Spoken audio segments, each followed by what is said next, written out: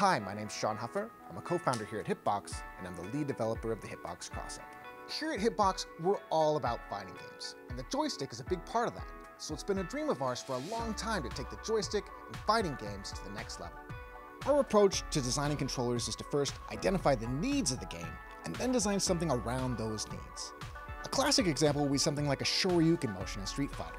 The stick starts at neutral, then press forward, then go back to neutral, followed by down, down forward, and an attack. And under pressure a match, it's paramount to do all of this as quickly, as accurately, and as consistent as possible. With the cross-up, we set out to create a better way to do all these things. The idea being that a better way to do a special move is a better way to play the game. The cross-up has analog control on the joystick and turns the D-pad into extra buttons for your right hand, giving you a one button, one direction solution, allowing you to be really precise about the direction you want with less mistakes.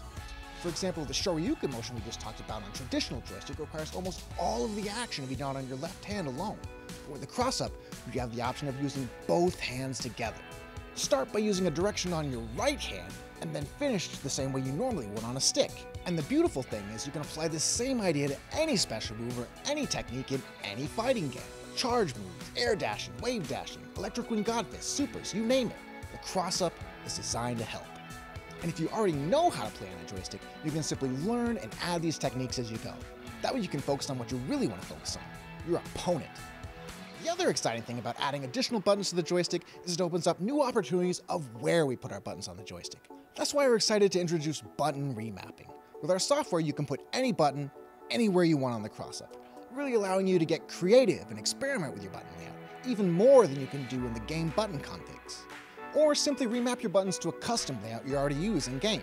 So whenever you jump on a setup, you can just leave the game on default and get straight into the action. We've chosen to do Kickstarter because it's the fastest way for us to make the cross-up available to everyone. But we also know that it wouldn't be Kickstarter if it wasn't a great deal too.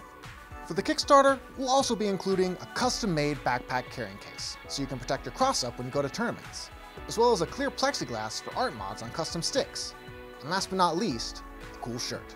And finally, for you innovators who want to get the cross-up in your hands immediately, we'll be doing an alpha program of the cross-up you see here as soon as the Kickstarter ends, so that we can take as much feedback as possible, as quickly as possible, and put it into the final release. We're using Kickstarter because we need your help.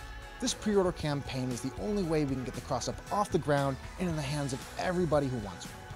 So please help support the Hitbox cross-up and help us make fighting game history.